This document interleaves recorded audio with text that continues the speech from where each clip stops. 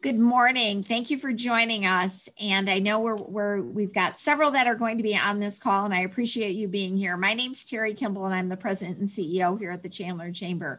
And we are really pleased to bring you these continued success seminars for our businesses here, as well as we've got a great program plan for you.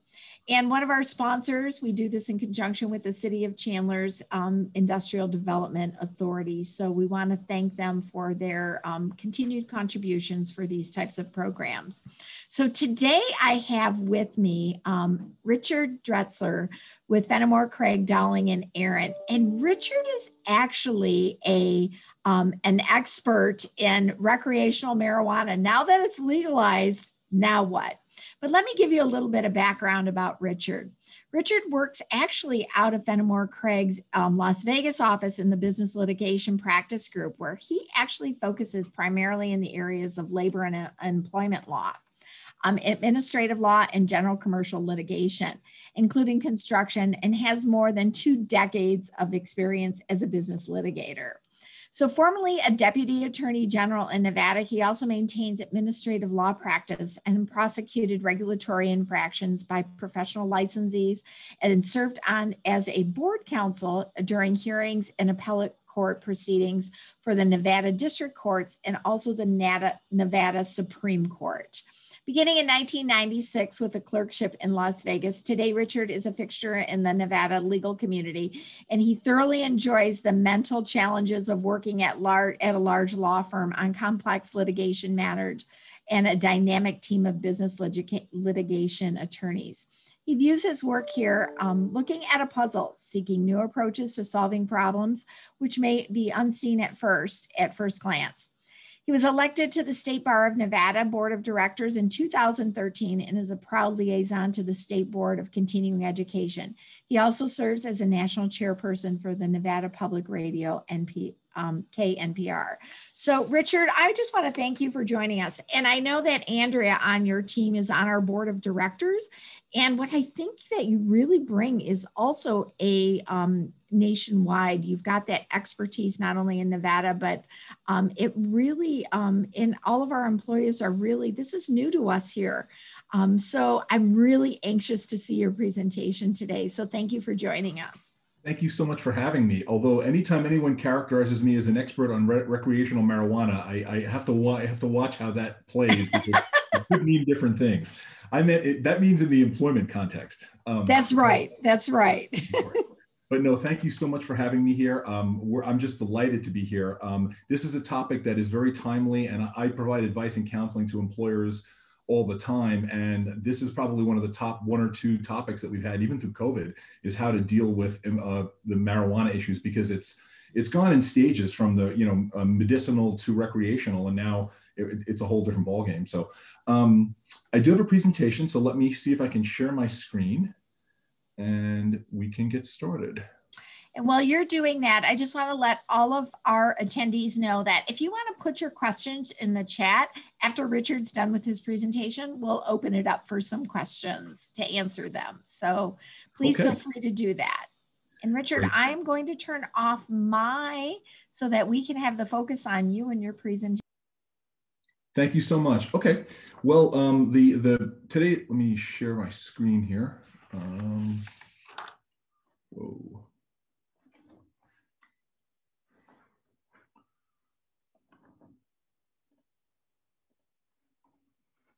Uh, Oh, there it is. Okay.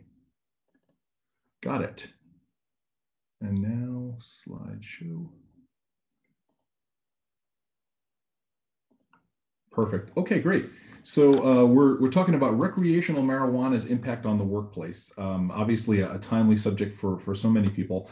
And this is an Arizona-centric presentation. So uh, everything that I'm going to talk about will be with regard to Arizona law. I'm, I am licensed in Arizona as well as Nevada, so I can uh, speak on legal issues in this state. That's me. Um, just a few housekeeping issues. I would ask everyone, please mute your microphone. Um, and then, you know, the standard disclaimer that a webinar does not constitute legal advice. I'm certainly happy to uh, answer any questions that you might have. But in terms of formal legal advice, that that we would have to handle that in, in sort of a more formal setting. So I'm sure everyone understands that. And as Terry mentioned, uh, please use the chat function for any questions that you might have. Um, and uh, lastly, questions are limited to the webinar. If there are questions that sort of are adjacent to the topics I'm going to talk about, then you can certainly uh, reach out and we can talk talk about those with you uh, differently. Okay, so let's go. Here we go. Recreational marijuana. Okay, so in the in uh, Arizona, um, there was a Proposition 207 that was uh, part of the last election cycle. Uh, the law would allow limited marijuana possession, use, and cultivation by adults that are 21 years or older. It would amend criminal penalties for marijuana possession and ban smoking marijuana in public and impose a 16% excise tax on marijuana sales to fund public programs, authorize state and local regulation of marijuana licensees, and allow expungement of marijuana offenses. So for folks who have already been convicted of marijuana offenses that are nonviolent, they will be expunged or, or removed from people's record. And Arizona passed that measure, 59% uh, to 40%, as you can see. I think the revenue potential of this was just too much for, too attractive for the Arizona legislature to ignore.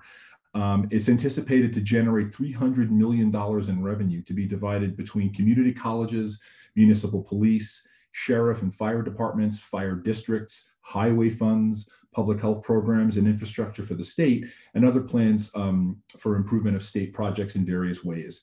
Um, so that's that's kind of the, the, the 10,000 foot view of this.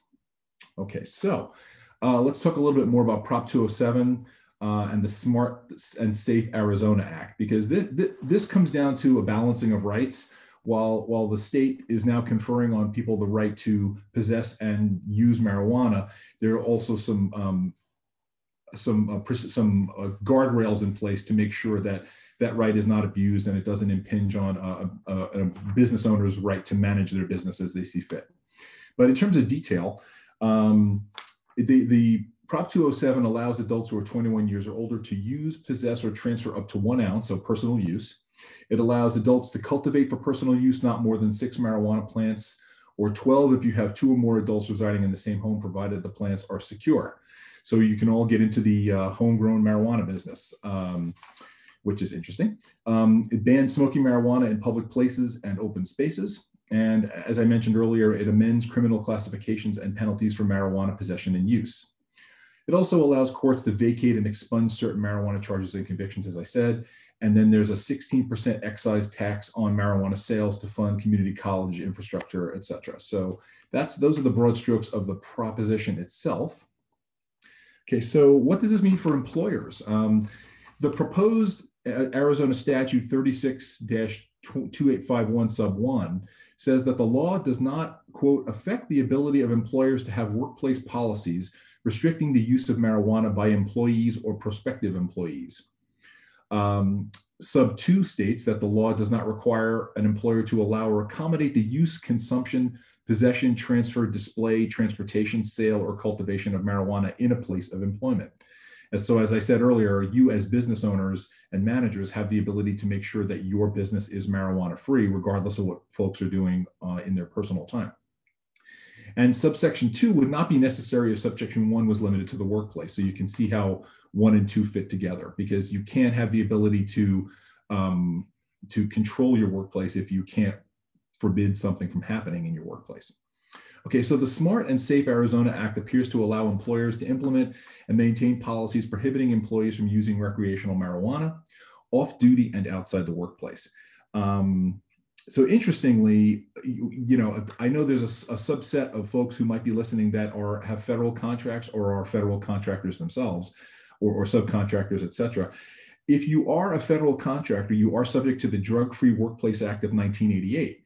So interestingly, in that situation, the change in Arizona law would have no bearing on your obligation to keep your workplace marijuana free because federal law takes precedence over state law. Now, the trend is that that's that's probably going to change, I suspect, in the next few years. But uh, right now, you've got the the federal law, which is um, uh, you know, very strict on this point, and states have taken it into their into, into their own um, purview to to loosen the restrictions on marijuana. So you'll see that conflict get resolved, I suspect, in the years to come. Okay, um, so let's talk about medical marijuana for a moment.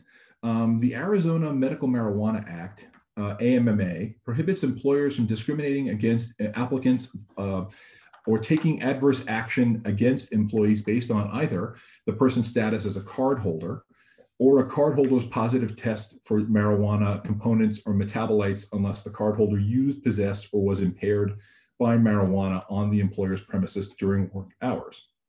And so um, this has this smacks of uh, Americans with Disabilities Act type issues, where if someone has a, a legitimate medical purpose for um, for using marijuana to alleviate a, a, a, medical problem, then you know to to cause adverse things to happen to them in their employment because of that is arguably um, discriminatory on the basis of disability.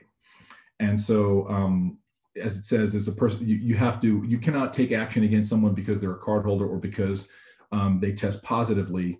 Um, but again, there's that caveat language in there that says that if they are, if they use, possessed, or were impaired on on the premises, if, if they are, you know, impaired at work, and you can tell that, then certainly you can, um, you know, take adverse action against them, which which makes sense.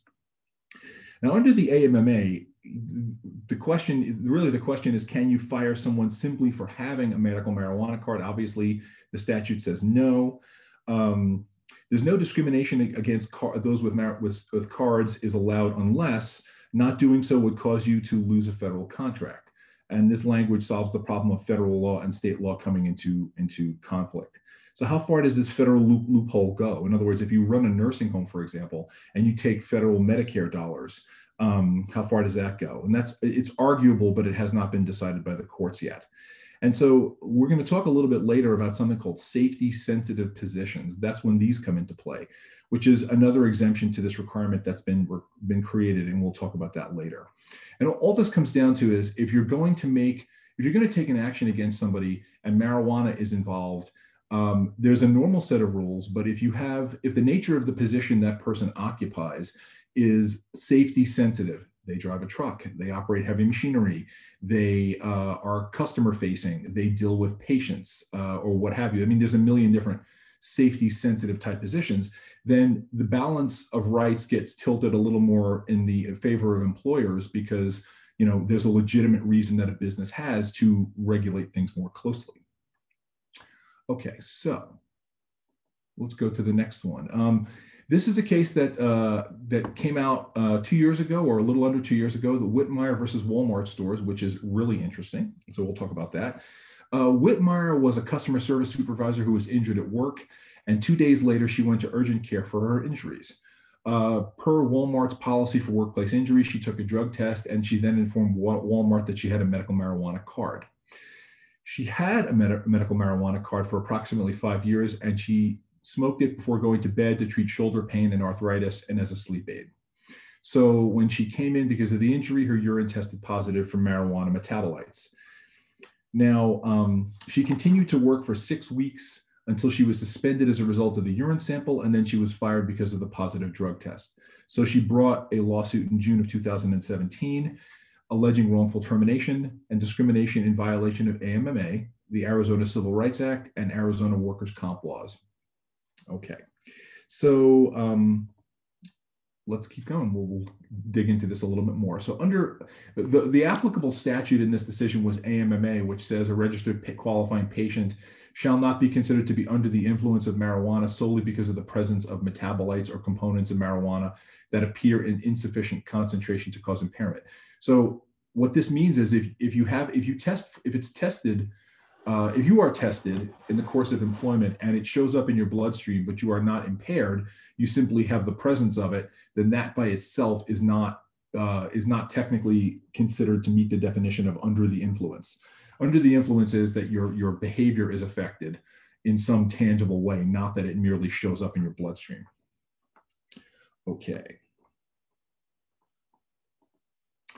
So what, where did where did the the court come down in uh, in the Whitmire case? The, the case did not address the issue of safety sensitive positions. So we'll, we'll, we'll still we're still going to talk about those a little bit more. But it, the, the court held that employees have an implied private right private cause of action under AMMA, Um, this is adverse to another decision, which was uh, the UPS decision in, in to also 2019, where Superior Court held that no private cause of action exists under AMMA, but the employee could bring a wrongful term claim under the AEPA, Arizona Employment Protection Act, and use AMMA as public policy. What, what they're saying is um, that there's there's another legal theory to allow a person to sue, um, which is distinguished from this case. Um, so the, the Drug Testing of Employees Act under Arizona law, um, the, the good faith defense is still valid. Um, and what that means is that if you are, if you choose to drug test and you have a plausible reason that you can articulate for testing someone, in other words, they're in a position, you know, like I mentioned before, a safety sensitive position, et cetera, um, then you can, uh, then that defense is still valid under Whitmire. Although it, I, I want to be clear, it doesn't mention safety sensitive positions, but the, the, the basic concept is still there. Um, but you, the other part of the holding is that you cannot um, make it make an employment decision based solely on a positive drug test if the employee has a medical marijuana card, as we talked about earlier. You have you need actual evidence that the employee was impaired while working. What what are we looking at in terms of that sort of evidence? Um, a manager, supervisor, or witness statements providing that the employee was exhibiting symptoms of impairment, slurring, walking unsteadily, smelled like pot, etc um, expert testimony regarding the results of the drug test that uh, sufficient marijuana levels to suggest impairment. So, as I said before, um, if, if it simply is a trace amount in your bloodstream, that is not enough to justify it, to justify considering someone impaired uh, while at work. But if the if an expert can testify that while it was a small amount, it was enough to produce impairment, then that would be sufficient to show that the um, the person was impaired while at work. Okay, so let me go back just a little bit, a little bit more about Whitmire. As I said, the court did not address the issue of safety sensitive positions. And um, while there is some clarity on the point, it's not crystal clear yet. So in terms of takeaway advice and, and you know, general points to consider, I think employees should try to characterize the positions that they're filling as safety sensitive. In other words, don't hang that label on it. But if the nature of a position lends itself to that, then then try to think about that in those terms, because that that gets you a different set of protections as an employer if you make a decision about someone's employment based upon their involvement with marijuana. Um, so as I said, Whitmire doesn't touch on that. Um, okay, so let's let's see if we see if we have any questions here. No questions so far, so let's go back to it. Richard, we'll go ahead and take questions at the end. Oh, sure. No problem okay. at all. Perfect. Sounds good. Thanks. Okay.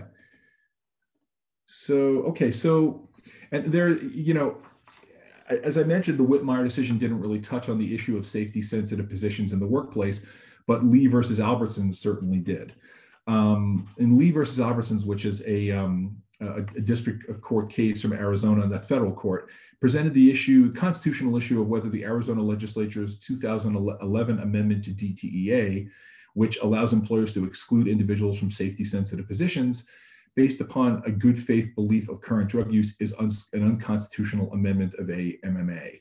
And so what they're, what they're saying is it's always a balancing of rights. So, you know, because state law now gives people a right to engage in medical marijuana, because that's what AMMA deals with, then um, if you are an employer and you want to exclude someone from a safety sensitive position on that basis, what this case is saying is, what this case dealt with is the issue of whether you are simply, whether you can have a good faith belief in current drug use or whether you need actual evidence of impairment to, uh, to justify that, um, that, that change.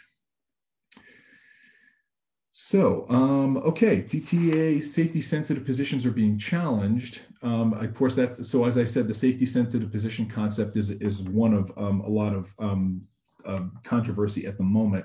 Um, the Voter Protection Act of VPA amended Arizona's constitution in 1998 to limit the legislature's authority to amend measures approved by voter initiatives. Under the Voter Protection Act, the legislature cannot amend an initiative unless it obtains a supermajority with three quarters of each house and the amendment furthers the purpose of the initiative. The AMMA was enacted by voter initiative. And so um, it, what this is saying is if we're if there's going to be an attempt to overcome what the voters have approved with AMMA, um, it's going to take a very high uh, hurdle to to be overcome. Um, but nevertheless, there is there is a mechanism in the law for that to happen under the VPA.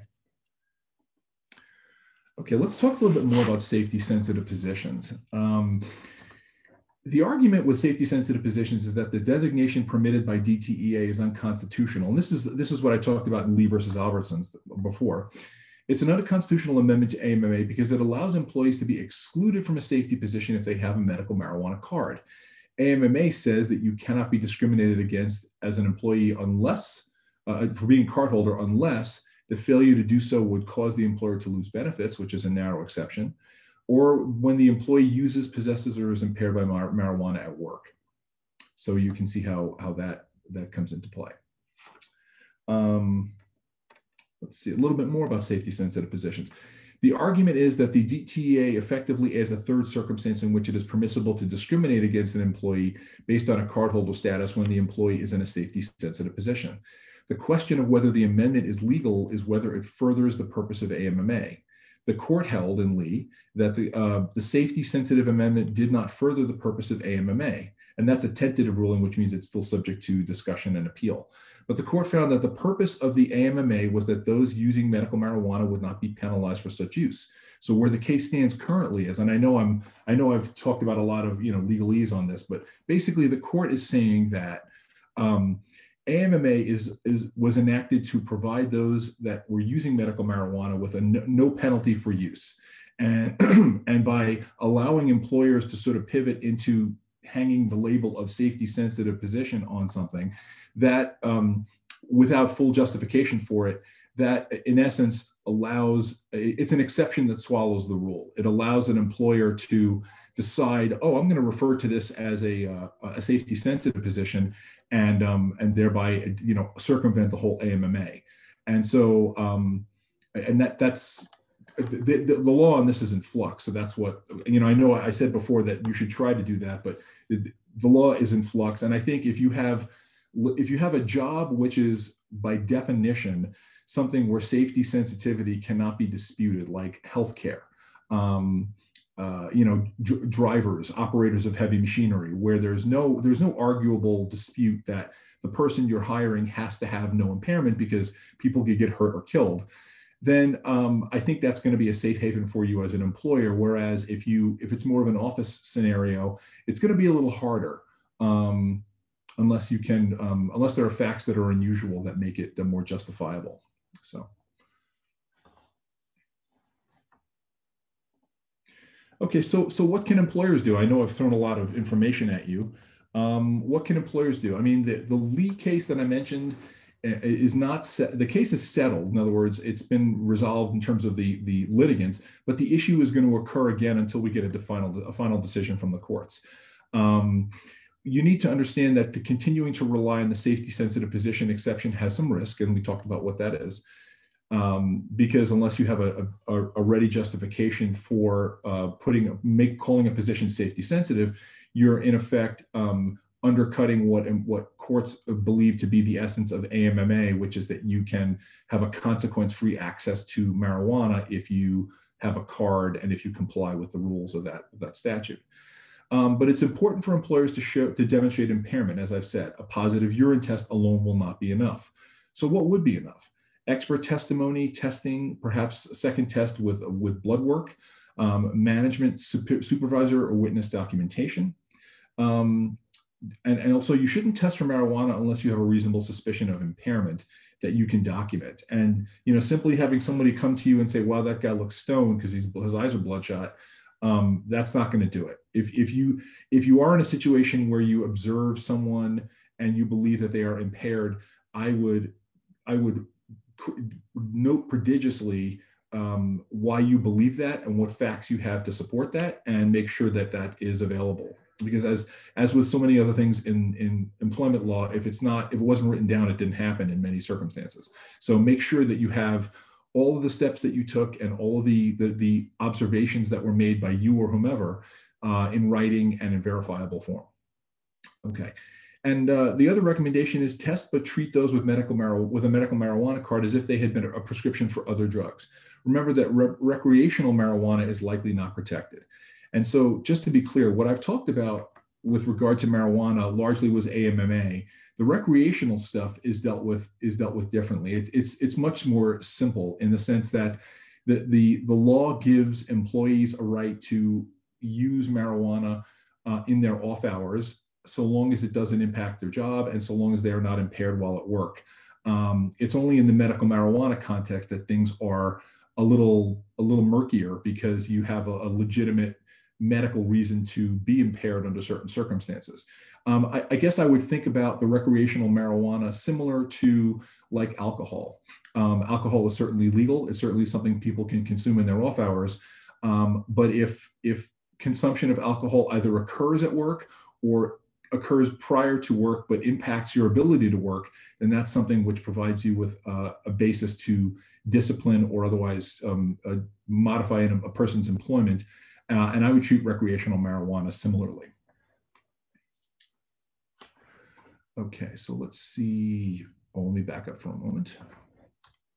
Okay, so in, in the states where recreational marijuana has been legalized, the, the question becomes how do you square that with the ability of an employer to conduct pre-employment testing? In other words, if someone has the right to consume marijuana, um, and I have a right under the law to conduct pre-employment testing, uh, how do those things fit together? Well, for employers that are not governed by federal regulations, because as I mentioned earlier, under federal law, it's a pretty easy, it's a bright line standard. You know, you just, it has to be stamped out wherever you come across it. Or you don't have segments of safety sensitive employees. In other words, if you're in an office setting, oops, sorry, there has been uh, a movement away from pre employment testing. Um, as I mentioned, medical marijuana and recreational marijuana are treated differently under the law. So if it's medical, you could be dealing with Americans with Disability Act issues, ADA. And if the person has a legitimate health issue that they treat with marijuana, you could use that and, and you use that as a complete bar to hiring them, you could get in some trouble. Recreational is different. However, what I've said is in the context of pre-employment testing. Um, that's a different animal from post-employment testing. Once someone has been hired, then random screenings where the employee is in a position that they're required to be sober and precise are absolutely in order. You have a you have a much greater set of rights to test uh, once the hire has occurred because you're dealing with things that have come up in the workplace, like an event happens, an accident, for example, a truck, you know, so in, in, a, in a delivery situation where someone crashes a company truck, that is a, a perfectly acceptable circumstance to say, I want this person tested because um, I have reason to think there may that may be an impairment issue. Um, and, and also, you know, employers have an inherent obligation to uh, prevent uh, risks to the health and safety of others in the workplace. And clamping down on consumption or impairment under, of marijuana by marijuana while in the workplace, you can see how that would impact your ability as an employer to protect others in the workplace. In other words, if you're working in a warehouse, for example, with with you know baler equipment or some very dangerous equipment, um, if someone's impaired, not only does it put them at risk, not only does it, put you as a company at risk in terms of liability, but it also presents a, a health and safety threat to everyone else who works there because you know God knows what could happen. So um, so, so obviously, um, if you do have evidence that an employee has sold, solicited, or used drugs in the workplace, um, or there is unusual conduct, there's um, a workplace accident or incident, those are all circumstances where you are on very solid ground to say, I want to uh, do some uh, do some drug testing because I have a feeling something, I have a sense that something might have been uh, drug related on this or, or marijuana influenced on this. So, um, so just to kind of sum this up, you have to you have to think of it in terms of first you have to evaluate the type of position that you have and determine whether it's safety sensitive or not.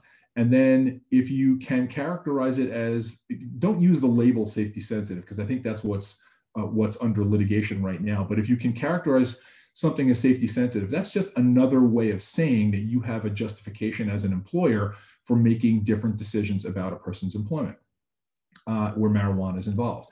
Um, then, you know, once you've determined the type of position that you have and how you, you know, how that fits into the safety continuum, whether it's highly a highly sensitive or, or not as much, then you have to consider where are you? Is it, are we, you know, are, are we dealing with a, a, medical situation? Does the person have a card or don't they? Um, or, is it simply recreational? And then um, are we dealing with uh, pre-employment or post-employment? Um, if, if, you look, if it's a hiring situation, that's one set of things to consider. But if it's post-hiring, then it should be keyed to um, a, a, an event that has occurred, like a, um, uh, you know, an accident as I've described, or, or, something which would lead you to, to want to test people for, uh, for marijuana. And then your rights as an employer are, are, are enhanced at that point. Okay, so um, just in terms of do's and don'ts, um, I wanted to summarize just a little bit. Um, obviously, you know, if, if you're business owners, you, you're doing this anyway, or business, you know, if you're managers in business, you're doing this anyway. But, it, you know, I'm sure your lawyers are always telling you this. I, I, I think it couldn't hurt to hear it again. Always can create contemporaneous documents of what's going on, document what is happening, when it's happening, why it's happening. It's, you know, who, what, where, when, and why. Make sure you get that down. Even if it's just opening up a Word document and just typing some things into it, just so you have it. Never backdate documents. Um, always include the date of the incident and the report and include the full names of at least at least once um, then initials or a first name is okay um, another thing to another uh, thing that may come up or another wrinkle to this is what if you get an anonymous report from an employee saying i have reason to think that this person over here is impaired um, that's tricky because if the person's not willing to go on the record I mean, you know, as an employer, if you get an anonymous complaint, you you you would probably check it out to see if there's some merit to it. But if you if there's nothing that you can verify as the employer, then um, you know an anonymous an anonymous statement is not as so shall we say compelling or or you know worth you know going to bat on as compared with um, a statement that somebody's willing to to put their name to. Um, but of course, confidentiality, uh, of the investigation um, attaches as, as is usually the case in any HR investigation. Okay, so um, just some other do's and don'ts with regard to handling these issues. Avoid expressing personal opinions, accusations, or judging. I know that uh, as I was mentioning to, to the folks uh, this morning, you know, depending on your age and, and your, the culture you grew up in, you know, marijuana, when I when I was coming up, I can speak for myself, when I was coming up, marijuana was just completely forbidden across the board. It was not something that had to be dealt with. It was not something that you even had to think about.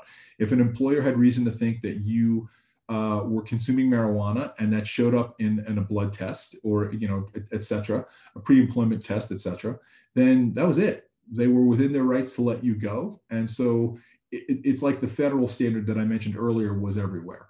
Uh, but that's changed. And so we have to sort of not express personal opinions about it, make accusations or judging. Um, I would also avoid generalities, overstatements, and exaggerations. Um, you know, if if someone is displaying some characteristics that give you concern, I would really describe what those characteristics are in detail rather than saying, "Wow, he was stoned," or you know, "Boy, that person was was was really stoned," etc. Um, describe what it is you are identifying. Um, they are stumbling. Um, they appear disoriented. Their eyes appear red, red and bloodshot, or whatever the characteristics are. Just so um, you've you, you've got specifics in there which have more weight to them, because um, uh, you know generalities are, are not as helpful as you might think. And you know, as you would with any HR investigation, you want to make sure that you reach conclusions um, in light of all the facts. Um, so, so you know, you want to look at legal conclusions and medical conclusions. If it's a if it's a medical marijuana situation involving a card or something like that, make sure that the illness that the person is claiming that they uh, consume marijuana to address is a legitimate medical issue, and you have the right to do that as you would with any ADA uh, situation. Um, and in terms of the legal conclusions, you know, make sure that you're on solid ground. You can, a great way to do this is to consult with an attorney as you go so that, you know, you can say, hey, um, I've got somebody that I'm contemplating letting go. These are the circumstances of the investigation. And uh, it, it could could never hurt to run this past your attorney and have them sort of bless what you're doing. Um, you know, there's a whole segment of employment law called employment counseling, which is before anything even goes to court. Uh, uh, there's a, there's a lawyers that are talented in hearing your facts and giving you advice based on the situation. So I would definitely run something like this past them, um, so you can confirm the legal conclusions that you have come to, um, and make sure you've got all the facts. I mean, if you if there's multiple witnesses, make sure that you've spoken to them all, and make sure you get written statements from them all. Um, and try to go into it as you would with any HR investigation um, with no preconceived notions. So, um, you know, if everyone has a conception that someone is obviously impaired or smokes a lot of pot in their off hours or whatever, for whatever reason, um, you, you have to set that aside and go where the facts lead you. Don't come to a predetermined outcome because very often what you see, and you know, we see this in cases where judges decide things this way, and also in, in internal investigations. You come to the conclusion about where you want to go, and then you set up the facts behind it to justify the outcome you wanted to reach. And that is a, a recipe for disaster. That is something you never want to do. And if if after you put the facts together and the statements together, you are convinced in your gut that the person is probably stoned, but the fact or, or was stoned on duty, but the facts aren't there to suggest it, then um, the facts are what the facts are. If you don't have the facts, and it's, it's a recreational situation, not a medical marijuana situation, you uh, you know don't be swayed. Don't let a predisposition against marijuana, which many people have, um, sway the decision that you reach when you investigate uh, a case involving an employee. Okay, so here's an example of um, something that I, I uh, uh, a, a, nice example of, of, kind of how to deal with these things. Um, so, so you get a complaint from someone named Susie who says earlier this month, Betty was completely wasted, and I suspect she was high on marijuana or drunk and is in need of immediate rehabilitation. Now, there's many problems with, so if you get that on a piece of paper, there's many problems with that that that statement from an evidentiary standpoint. It's not contemporaneous. In other words, it it doesn't say this date at this time I observed that Betty was completely wasted. It just makes a generality. And I said before we want to avoid generalities. Um, this person never spoke to Betty, or at least we don't know whether this person spoke to Betty, because this person is just this person has come to a conclusion that Betty was completely wasted, and you know it doesn't contain something like um, I, I, I asked Betty about this and she denied it, or something like that. You also want to, you always want to get the side of the person who is the subject of the complaint. Obviously, that's that's you know basic stuff. Um, it doesn't have a date on it. It doesn't have Betty's last name, and it reaches improper conclusions um, because um, you know just because let's say let's say Susie's right, and let's say Betty was completely wasted at work or uh, or high or drunk. There's certainly no. I mean, that certainly can happen, and that is certainly something which is um, a major violation of any any company's HR policies to be that intoxicated at work, whether from marijuana or alcohol. But it reaches an improper conclusion because of that last that last portion of the sentence, and is in need of immediate rehabilitation. How does how does Susie know that? You know, how does Susie know that someone needs rehabilitation? There, I can conceive of a million situations where someone um, you know drank too many glasses of wine at lunch and came back and they may be completely wasted. But that doesn't mean they need to go to rehab. So that's a judgment on susie's part that you need to factor out of the of the analysis. Um, and that's an example of an improper conclusion that we want to avoid. Okay um, you know, and also uh, improper conclusions may have regarded Betty as having a disability. And that's, you know, so when you say in need of immediate rehabilitation, that smacks of ADA concerns. Because if someone is in need of rehabilitation, it's reasonable to assume they have alcoholism. And then uh, that's a dis- recognized disability. And so that kicks in a whole different set of rights that we have to consider. So, um, you know, I, I, wouldn't I wouldn't take an employee's conclusions on face value unless you've done your own investigation and have facts to, to support that. And there's no description of the conduct in question, like I said before. There's no, um, you know, characterization of what she was doing. She was stumbling. She her eyes were blurry. She slurred her speech. Um, she fell asleep. What have you? no description of the conduct. And so that's, that's obviously a problem with the statement. Okay, so the other way to look at this is is this reliable evidence? Is this something that you want to expose your company to legal action on the basis of this information? And I think the answer is li likely not. Um, there's some other things in here that I, you know, that, that concern me. Um, the, the phrase I suspect um, anytime people suspect things, that means they have a possibility of being wrong. So, you know, it, it, it, in your businesses, I'm sure you you deal with that all the time. But there's a there's a big difference between someone suspecting something is true and someone knowing something is true. Um, you know, and and is the logic sound? Uh, do can we say that this person is in need of rehab? Um, for the do they have the disability of alcoholism that's a that's a logical leap from susie and we don't know if that's true or not so we want to take that into consideration as well now what's a what's a, a different way to attack the problem which um, might be a little more acceptable um, after the company supervisors were coached, the Susie, Susie wrote the following. On July 12, 2013, at approximately 1.15 p.m., I observed Betty Smith walking in an unsteady manner to her office. When I walked into Betty's office, I could see that she stumbled to get to her chair. So let's digest that little piece. You've got a date, you've got a time, you've got specific observations about what it is that Betty was doing. Um, when I asked Betty if she was okay, she stared at me and slowly slurred, hmm, that's a great question. So also we, we have a, an, an, additional improvement over the last statement because Betty was actually asked, are you okay? Or her input was included in the statement.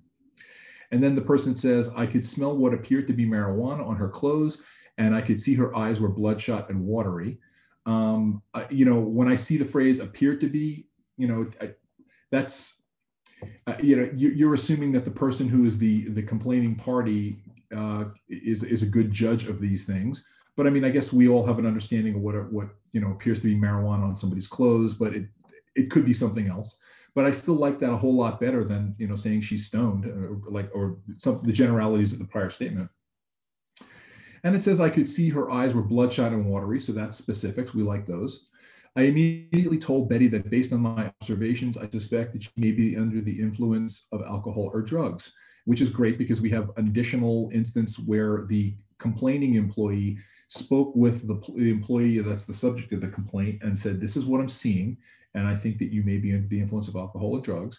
I proceeded to instruct her to gather her belongings and pursuant to our policy, she would be required to get a test to determine if she was under the influence in violation of our policy, which is great because you're you're using the workplace policy the way it should be. You're reminding the the potentially offending employee of what has happened and telling them of the consequences of what has to happen. They need to have a test to determine if they were under the influence in violation of policy.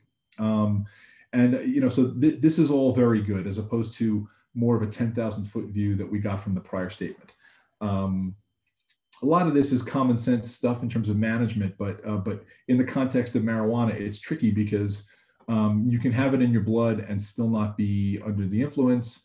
And what, what the, the, as I understand it, marijuana, just like alcohol, affects people differently. So someone could have you know three martinis and be perfectly fine uh, in terms of how they appear to you, or someone could have one joint and be, you know, completely um, uh, completely impaired. So there's really, uh, but nevertheless, if that occurs at work, it's it's a problem. But what I'm trying to say is that because of the of the nature of the substance, it affects different people differently. So you have to account for that in how you investigate and document complaints of that nature. Okay.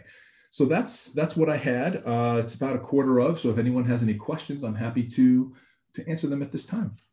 I've got a couple questions. Thank you so much, Richard. You had, um, I'm jotting down all kinds of notes um, because you always learn things on these types of, of webinars. So, a couple of things. Can you reiterate or talk again? Um, companies are getting away from pre employment testing? Well, um, pre-employment testing is is is more fraught than it used to be. It's it's got more problems attached to it because of the marijuana issue. Um, I, I, guess I would say I, the pre-employment testing is trickier because um, not every state has this the statute that Arizona has, which says that you can't hold that against somebody in terms of employment decisions unless there's a, a, reason, a basis connected to their performance.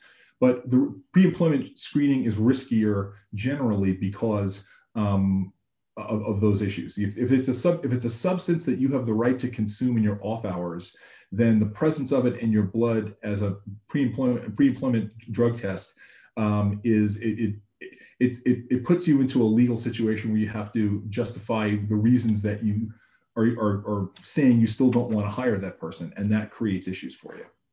Okay. How how with these recreational marijuana, um, how does that? How are you um, suggesting employers handle the remote worker? Ah, okay. Well, I mean that's that's a great question. I mean, we're all dealing with that right now in various ways. I mean, heck, I'm working remotely myself right now. Um, I'm assuming that when people work remotely, there are benchmarks for their performance. They have to log in.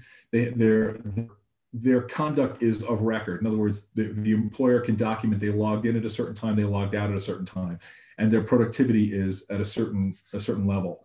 Um, but you know, it, it's it's really difficult to say. I mean, if I like I said, if the as I mentioned before, if someone is impaired and they handle it well, as is often the case, someone can can drink a lot or consume a lot of marijuana and still be still have it together. If they're working remotely, you might not be able to tell, um, and that that's a that's a really difficult situation. Um, that's why I'm not a fan of working remotely, but I, am in the minority on that right now. Uh, so I, I, guess the answer to your question is we're going to have to kind of deal with it as it as it goes. Um, but it, the telltale signs will generally be there if deadlines are not being met if professionalism is not being maintained, if um, if people are late, if people leave early, if people interact with others and they are re- reported to be under the influence, those are all things that, despite working remotely, you can still identify. It's just harder when you don't have everyone in the same place. So another one in relation to that, um, many companies hire like independent contractors to do, you know, service or that kind of thing, or just because they can't handle the sheer volume. How does this new law affect the independent contractors that you may hire, or what triggers or what mechanisms should an employer put in place to protect them? Well, um, th- this, believe it or not, from my perspective, this kind of delves into the realms of insurance because if you're let's say you're a i deal with a lot of construction litigation as an example. So if you're a construction company and you're a general contractor and you have subcontractors that work for you there's going to be contracts where the subcontractor is obligated to have you as the general contractor as a named insured in their insurance policy.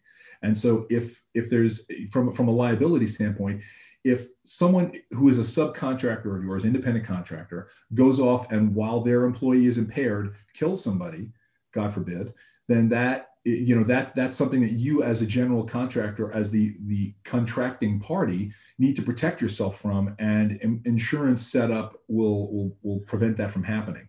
Um, you know it, it becomes a lot easier from if you are the contracting employee if you like for example if you're a temp agency or let's say you you you hire temps to work for you and one of those temps comes to you and is impaired that is not your issue to deal with necessarily. I mean, you have to maintain the safety and security of your workplace, but that's an issue to drop on the desk of the company that is the employer of that person.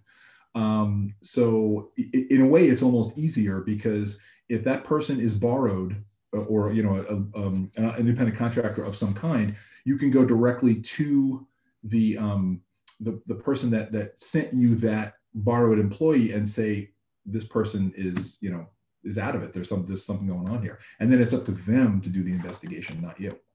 Okay. Another question. If a healthcare company is federally contracted with medicare do they have to pre-screen employees for marijuana I don't think you have to pre-screen employees for marijuana, but if you come up, if you if you encounter it then you don't have the leeway that Arizona law and other law gives you. You have to you have to treat it under the the uh, Drug Free Workplace Act of 1988. Okay. Just taking federal dollars. So you had also mentioned um, about if somebody doesn't want to come forward and they suspect somebody and it's kind of an anonymous um, type of thing, um, that that's not the the credibility of that, and to really be careful in that how does that affect with um, like whistleblower policies? Wow, I mean that's that's a subject for a for a whole hour all by itself. but it's a great question. Um, it, it, Sorry. It, no, no, no, no, no. That's a great. I, I have many cases like that right now. It depends on what you're blowing the whistle on. Um, you know, if you're if you're if, if by, by whistleblower you mean I'm I as an employee have observed that my fellow employee is stoned and I want to bring it to the attention of the boss because um, I want to blow the whistle on that. I don't I don't think that's a that's per se a whistleblower situation because it's not bad conduct by the employer it's bad conduct by an employee. Um, so I think you I mean I, I, there may be there may be um, small instances of Arizona law that I'm not thinking of at the moment, but um, that that would get treated as you know your at your normal workplace investigation. I don't think you enjoy whistleblower protection under Arizona law simply by reporting a fellow employee anonymously for engaging in uh, marijuana use. Um, I might be wrong about that, but I'm pretty sure that's the law. So. Okay. All right. Well, you have been a fountain of knowledge, and I know I hit you with some pretty tough questions. Oh, but I told you I was taking all kinds of notes while you were talking, um, because um, so and um, I really appreciate your time and being here. And I think this whole um, as we continue to navigate through this, um, I think we're going to see more and more, especially with the remote workers, um, as an issue as yeah, we move forward. It's coming, and and the the thing that is fascinating to me is how do you establish metrics to keep people honest when you are having them work remotely? I guess it depends on the nature of your business. I mean, you know, I, I work in a law firm and we have a lot of folks who are working remotely. So, you know, if I'm meeting my deadlines and I'm handling the things I have to handle and returning my phone calls, there's really kind of no way to know uh, what what I'm involved in, as an example. Although not not to worry, but you, you understand that's that's a that's still a problem that's fraught um, and then, it, but it also depends on the nature of the industry because it, you know if you're in a customer service situation where people have to see you and interact with you on a regular basis, it's much easier to to ferret out those things. But it, it just we're going to have to figure this out as we go, and I'm sure there'll be a lot of litigation and a lot of business for everyone like me to sort out those issues. So. Oh, well, thank you for that. Um, and Richard, thank you for joining us. Thank you for all of you um, listening in today. Um, and if you have more questions for Richard, um, um, we will go ahead and um, send you out his contact information to feel free to reach out to them to him directly. So thank you again for joining us. And I want to thank the City of Chandler Industrial Development Authority for their part, um, their contributions towards these programs. Um, next week, we have how important video content is for marketing today. We have guest speakers, Mark Stewart and Jillian Grammer with Concept to Completion and also owner Jane Poston with J2 Media that's going to talk about that video component. And as businesses, this is an ever changing world and we've got to be masters of a lot of different things. So I appreciate your time today. I'm Richard and can't wait to hear next week's program. Thanks again for joining us. Thanks, everybody. Pleasure to be here.